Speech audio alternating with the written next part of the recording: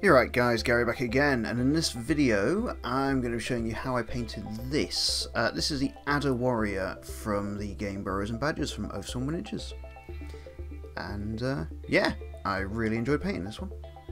So let's see how I did it.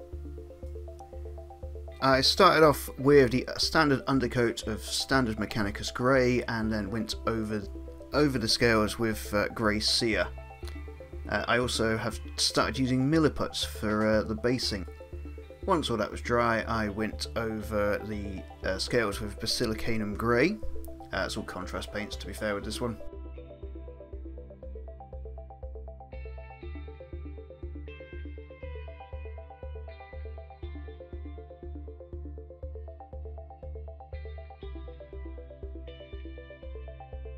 And once that was dry, I went over it with Nazdreg Yellow to sort of give it a sort of scaly appearance.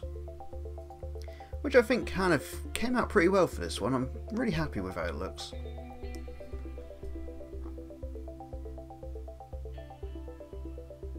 And once the scales were dry, I went over all of the armour panels with uh, Leadbelcher. Uh, that was going to be my, my base for this one, but I didn't want it just looking like normal metal. And while that was drying, I went over the base with Cygor Brown, uh, another contrast paint. Um, in hindsight, I probably could have just gotten away with using non-contrast, but I had the pot next to me, so I just grabbed it. For the eyes, I wanted them to be nice deep red. Uh, I used Barak-Nar Burgundy to start with, but looking at it uh, after I'd done them, I wasn't too happy, so I decided to go back over them again later. Uh, so I went back over with Corax White. Decided to completely rethink what I was doing. I think I made the right choice in the end.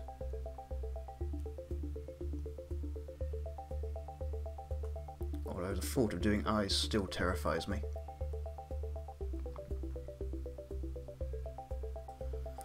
As I said before, I didn't really want the, the, the armour looking like your standard bare steel, so I decided to try something and I went over all of the armour panels with a slightly thinned down Aethermatic Blue from contrast. I think that comes across quite nicely as sort of a nice, yeah, like a little nice sort of greenish tinge. Reminds me of an elf for some reason. Not quite sure why.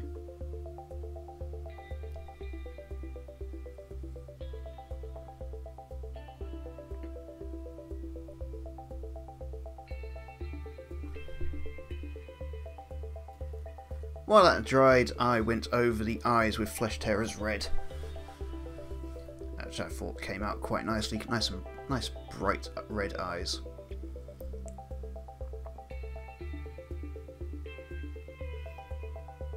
And I better do the other one for uh, good measure.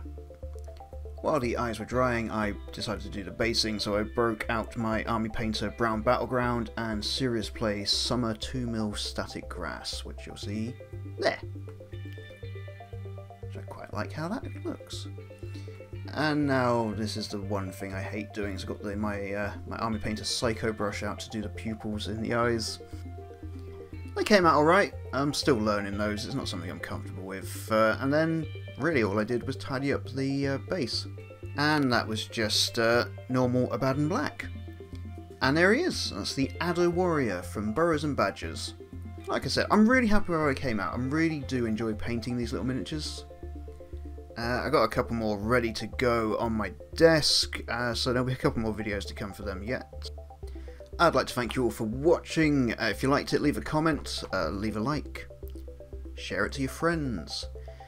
I'm quite happy that my channel at time of recording is currently at 680 subscribers. It'd be amazing if I get to 700 um, sort of soonish.